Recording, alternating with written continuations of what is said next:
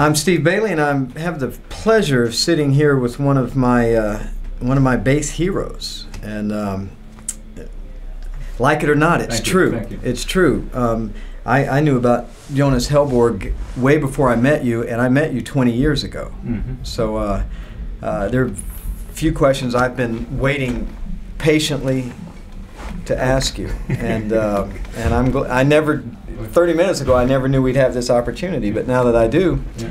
uh, one thing I, I, just want to ask a little bit about your uh, your background, musical background. Did you go to school, or where where where did all that stuff come from? No, I actually never went to uh, to musical school, any conservatories, any uh, less like that. I'm pretty much self-taught. But what happened to me was, was I was playing rock and roll, right? And I was I moved away from home when I was very young. When I was 15, I was living by myself. And one day there was a knock on the door, and my sax playing neighbor asked if I want. He had heard me playing bass in my room, so he said, "Well, our band needs to needs a bass player. You want to come and try to play with us?" And I went to play with them, and they were playing like free jazz, Wow. you know. So I went, and and so I started making noise and shit, and they loved it. And I said, Were you playing upright bass? no, no, just oh, okay. like I couldn't tell by your. yeah, just, yeah, yeah. You know. And they loved it, and uh, and I went home and thought, wow, I can play jazz. This is amazing. Because there's no chord changes. I know. So so then then we played for a while, and the drummer played in another band, like more like a fusion band, and he said, well, maybe you want to come and play with my other band. And so I went there, and they actually played tunes and and stuff, and I had no clue what the hell was going on. You know, I didn't understand anything. And uh, but uh, How old were you at that point? Like 14, 15. you know. Yeah. And uh, but the guitar player was very nice, so he started telling me, okay, this is what this is, and we play this song like this. This is what you're supposed to play Uh-huh. here, and this is this scale, that's that chord. And then I got the bug, and then I started uh, studying myself, and, uh, and I, I got into it, and I started transcribing. I started reading books, harmony. But where did you learn to read notation? I mean, before you started to transcribe, or, or you did it in that in that process? In that process, yeah, I mean, you. Uh, I got got books on notation, and I got books on this, and I started reading scores with classical music and Right. following the scores. You see, see, this is the bass line. It looks like that on the paper, and it sounds like that. Uh huh. Okay, and then just picking out stuff, and that went on. That um, from that age up to like 1920, I was doing doing that a lot, and and actually studying a lot of classical music, like the theory, like counterpoint, traditional harmony, like more advanced forms Right. of, uh, of that. And yeah, and then I played, started playing with a lot of people in Sweden, a lot of uh, In jazz Sweden, yeah, yeah. you know, play, playing standards, all that kind of stuff. But I think I first read about you in Downbeat magazine, Hmm. And and I, I'm trying to remember who you were playing with that, that they either reviewed an album. It could have been one of your albums or. or I some- think the first thing that appeared was Cobham talking about me in an Ah. interview just when I was joining Mahavishnu with, uh, with with Billy and John. We had done one gig, which was a trio gig for French television, just me, John McLaughlin, and Billy Cobham. Uh-huh. And right after that, he made an interview in Downbeat, and he was Yes. saying some nice things about.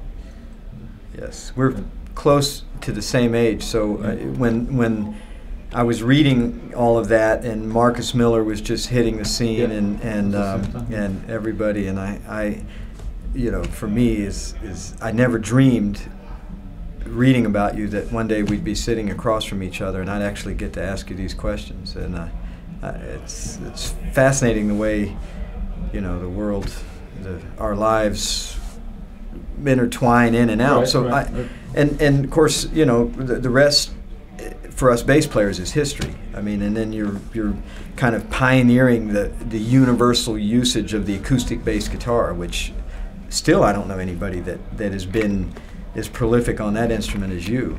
Oh, so thank you. I mean, I, I, I, yeah, I guess that that is the sound that's been in my head since I since I started. Like there was no acoustic bass guitar when I started, and uh, of course, you, yes, you had the Ernie Ball funny basses. Yeah, and you had- Earthwood bass. Yeah, Earthwood that? exactly, Yeah, and they had like Mexican funny basses. You can always tell a bass player because whenever they say the word bass, their hands They do do this. it, It's yeah. really weird. Yeah. Uh, and um, but but but the sound idea was that so I've always gravitated to trying to achieve that and then when I met uh, the luthier who made uh, John McLaughlin's acoustic guitars, the Shakti guitar and, Uh-huh. and the nylon string guitars that he played, he agreed to make me a. Uh, that's, that's Abraham Wechter, Uh-huh. who is one of the great luthiers, and uh, and he made me a bass back in the 80s, early 80s, and that's. And when I met you in, I think it was 1990, somewhere in there, in 1990, 89, 91, I, I can't remember. It was it was here in, it, in Frankfurt, Mhm. and you scared the hell out of me. Really? Just, I don't know why, but but I, I, I was just, I was a little intimidated, and then and didn't really get to know you very well, Uh-huh. and and kind of left intimidated. Really? Yeah, and I can't explain it, but then getting to know you again over these last couple of years, uh, you're actually a really nice guy. Well, actually, you're not the only one who's saying that. I mean, Uh-huh. I, I don't think of myself as intimidating at all, but other people have said exactly the same thing, and I don't know what the hell it is. I don't know what, why. I mean, I'm, I'm Yeah, I quite, know. quite approachable. I know, it- it- um, well-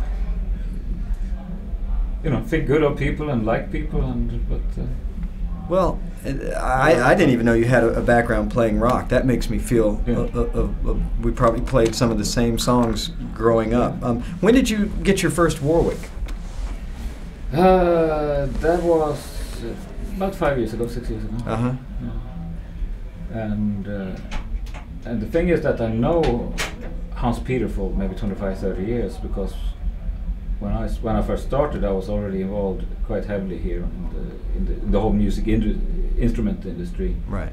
and I was playing a Wal at that time. Uh huh. And Wal was also another small European manufacturer and British, right? Yeah, British, yeah. Yeah. And at that time, everybody was grouped together a little bit here on, on this floor here with like Status and uh, Overwater and Wal and Warwick and, and everything. So we kind of knew each other from back then. And and how I mean now, and like I, I, I told Ryan earlier, I mean I'm a I'm I'm a guest at the table, Mm. for which I'm I'm grateful. But but seeing your role in the company as I've gotten to witness over the last few months, Mhm. going to NAMM and and seeing.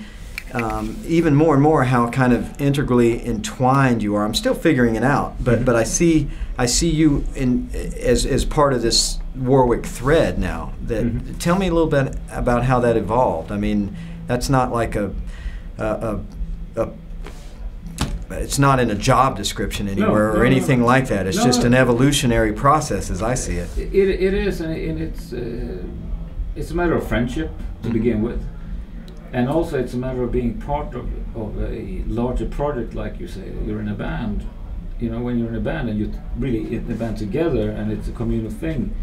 You you do tasks that need to be done. Right. You know, somebody needs to, to repaint the PA or or put tires on the bus. You know, Yeah. somebody's got to do it, and Yeah. and, uh, So you find somebody to do it. Yeah, the tires on the bus. Yeah, if, if you if you have that kind of money, yeah. No, but no, but but really, it's, it's always Yeah. like uh, things come up and and you need to do it. But it, it it's also the this whole thing that you talked to to Ryan about, which is the sense of community, yeah. which is first of all, it sort of happened to me also when I started hanging with Hans Peter and whoever was around then.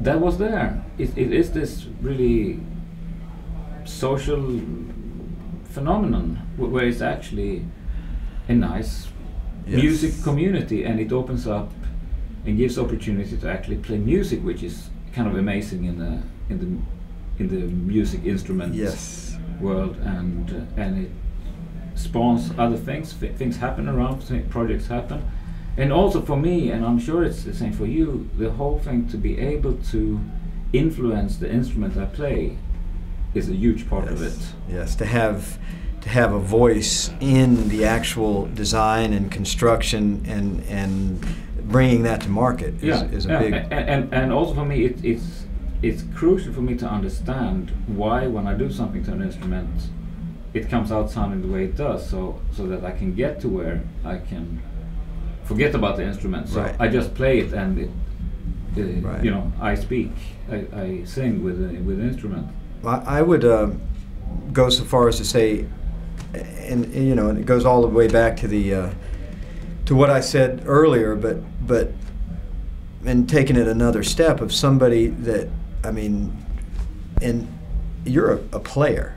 Mm. I mean, you're a musician first. Mm. I, I, I think it's fascinating for a company to have a person with your perspective on the real world of playing music, the Mm. good, the bad, and the ugly Mm.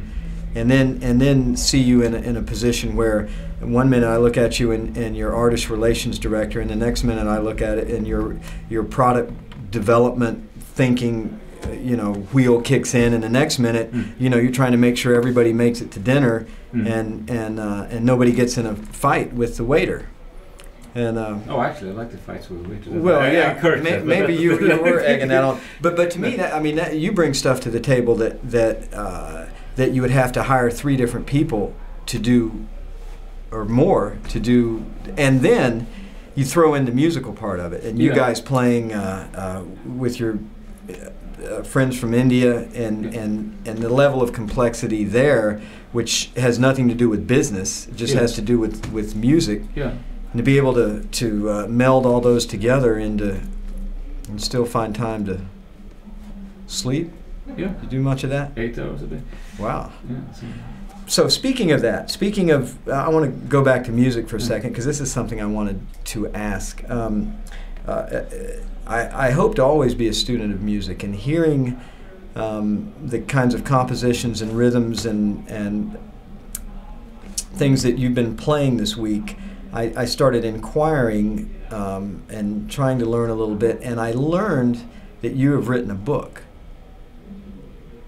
Is this true? Well, go on. Well, a, a book about, uh, and that's what I want to ask you about. About, uh, um, is it a bass book? Is it is it? Oh, a, a I mu- have, I have two books published. I th- I heard there was a because I was asking um, one of your your uh, tabla players. Mm-hmm. I was asking wh- what what can I study to make myself more aware of this and, and more uh, comfortable with it, and and he recommended me to you. So tell me what Oh, you have okay. that will help me out. Okay, no, okay, that's no, uh, because I did two books long time ago. Thirty years ago, I did like a chord book and like a slap book. Yeah, But- I've but already got those. I wore those out. I'm talking about some No, new no. stuff. Yeah, no, I well, I am working. I've been working on for a long time, and probably still will be working on it for an even longer time. On uh, two concept, concepts of of books or videos or whatever it will come out to be. One, of course, is is about this uh, Indian rhythmic stuff, but appli- That's the one I want. Yeah, but applied to a Western mind Right. and what you can do it and uh, I mean not in such a hurry because uh, John McLaughlin and Selva Ganesh they did a DVD Uh, explaining the basics of it which is which is good which is really very clear and concise and, and for just learning the fundamentals of, of, of what that uh, uh, as it's called is yeah. so that I, I don't need to do that. That, that that's there. And what I want to uh, do to further explain it is how that applies to, to Western music because I don't want to teach. I don't play Indian music. I don't want to teach Indian music. I play with Indian musicians. Right.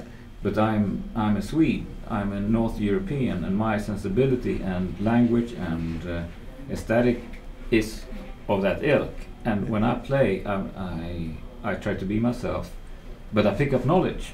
You know, I pick up knowledge from American music, from West uh, African music, from and but more than anything from Indian music. But I take that and I try to compose music as I understand it with it, and I try and I can play with Indian musicians, but I don't I don't pretend to play Indian music. But there is so much information in, in two aspects of Indian music that we as Westerners need, because we have excellent uh, methods of, uh, of harmony, of, uh, of form, but we have no, um, and, and a certain aspect of composition on, on, on that, but we have no real concept of melody or method of melody, and we have not very bad rhythmical teaching to understand. Limited. Yeah. Yeah, yeah, very very limited. It, Yeah. doesn't explain at all the the complications or complexities of, of rhythm and how, how you can actually build it and how Right. it hangs together. And uh, just such a simple thing as as a ritardando or like you you go from one tempo to the other, I, I believe personally that intuitively we will do it in relation to the other tempo. It's not like we go, this tempo is totally unrelated to this. I think there's an absolute relationship. And So the- they're kind of all on a grid. yeah, They're just in exactly, different places exactly. on the grid. It, it's uh, it, it, yeah, exactly. And and that that you get from from the Indians, they have that. They they shift from uh, from five, six, seven, eight, nine, ten, eleven, but with the same pulse. Right, You, you can call it quantization or whatever you want, right. but in, in between that. Uh, and the other thing, of course, is is the the melodic and the ornamental aspects of Indian music, which is on a level that we just forgot. We used to have it a lot in the in the Baroque era, Uh-huh. where ornamentation was a big thing. You wrote out the piece, and then this little funny sign Twists and it was free for interpretation, and Yeah. everybody had their own drills and trails and stuff, and, Yeah. and it was nice like that. But they really have it, and and if you think about it in relationship to harmony, you have the Indian thing where you play to a drone. You have like the tonic and the fifth, like running in the background all the time, and all the notes of the rag, which very simplistically would we would call a scale or a bunch of notes, which doesn't explain the whole thing because a rag can be the, the same scale and you have 10 different rags that are that scale. So there are other elements to it. But if we just simply for a western mind think of it as a scale and you play that uh, when you play like a classical piece in Indian music you start with what's called the alap which is the slow piece without time and you just explore the melodic possibilities of that Mhm. scale right? And and to understand kind of like the cadenza in in older classical music, where where you just have No, because the ca- cadenza you it is in time and it is uh, you take the mat- thematic material from the from the piece and then you do something with Ah. it. You improvise something with it. This is more about very slowly exploring the the power of the individual notes to your tonic ah because each note has a power or a relationship or say a gravity to this this tonic and to the fifth and then they have that to each other and if you think about that this is how we understand music because we remember even if we don't have this running all the time we remember where the tonic is if we Yes. temporarily shift it which could be modulation or which could just be another chord right in this case, we temporarily shift the tonic. So now, if you play a melodic note, that relates both to your new chord, chord Right. tonal center, and to the original one. So, so you have all these these kind of uh, gravities that happen, like a solar system. They pull each other, Mhm.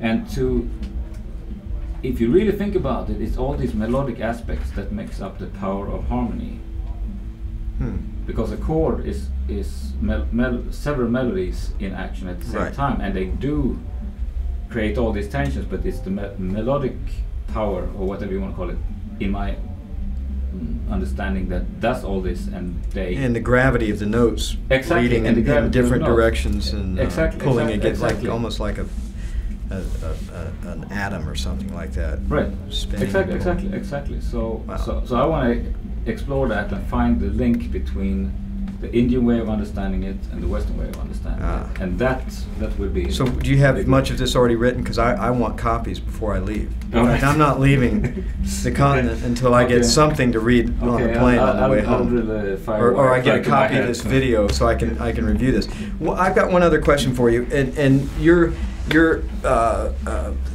association with Warwick, um, where, how do you see this company evolving? And you know, I, I I'm I'm curious personally Mm. your perspective on it, and and I'm sure whoever's uh, viewing this might might be curious what what what's going on here. Yeah, I'm, I'm curious too, actually, because it's taking on a life that I couldn't see two years ago. I mean, Uh-huh. I when I start when I was getting my first basses from Hans Peter, it was just another okay, cool. I got some more basses and I'll play this bass. These are cool instruments. And then he asked me to do the amplifier line, and I got more and more involved. Right. And but then what what I'm seeing is this uh, coming together of a lot of people, a lot of, of musicians, which is the wonderful thing Right. and and Hans Peter is really pushing everything like support normally uh, with a company you have like one or two artists and then say okay we got we got our star stuff but it's not about that here Right. it's not about one being up and one being down and one being over the other it's just it's an incredible community and it's expanding, and God knows where it's going to go because it, it can really be. Yeah. And and the other thing is, uh, the company is open to everybody's needs.